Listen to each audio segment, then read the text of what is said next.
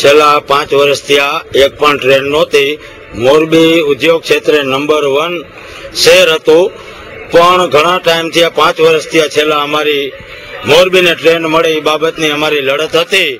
અમે બંને સામાજિક કાર્યકરોએ ઘણા સુધી ઘણા ઘણા દરેક સંસદ સભ્યો ગુજરાતના તેમજ રેલ મંત્રી દિલ્હી તેમજ નારાયણભાઈ રાઠવા સમક્ષ અનેક વખત રજૂઆત કરવાના અંતે નારાયણભાઈ રાઠવા એ અમને જ્યારે નજરબાગ ટેસ્ટને ઉપવાસ ઉપર અમે બેઠેલા, ત્યારે નારાયણભાઈ રાઠવાએ રેલ મંત્રી શ્રી અમને આશ્વાસન લેખિતમાં આપેલ કે ભવિષ્યમાં તમારે મોરબી માટે, ટ્રેન માટે થઈ અને અમે તમારો પ્રશ્ન જરૂર ઉકેલશું અને લાંબી લડતના અંતે મોરબીને ગાંધીધામ કામાખ્યા ટ્રેન આપવામાં આવી. જે અઠાવીસ બે મોરબીથી એનું જોરદાર સ્વાગત કરવામાં આવ્યું.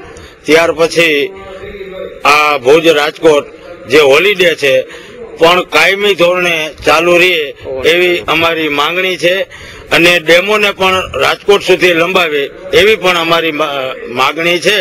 અને ભવિષ્યમાં નજરબાગ સ્ટેશન શરૂ કરવામાં આવે, ચાલુ કરવામાં આવે અને ત્યાં પણ સ્ટોપ આપવામાં આવે એવી પણ અમારી માંગણી છે. કારણ કે મોરબી બે નું જે મુખ્ય છે સરકારી તમામ અધિકારીઓ કચેરીઓ કોર્ટ તેમજ સેવા સદન સામા કાંઠે આવેલ છે. એટલે અમારી પણ એવી માંગણી છે કે નજરબાગ સ્ટેશનને ફરીથી ચાલુ કરી અને જે સુવિધા ત્યાં ઉપલબ્ધ નથી તે સુવિધા ઉપલબ્ધ થાય એવી અમારી માંગણી.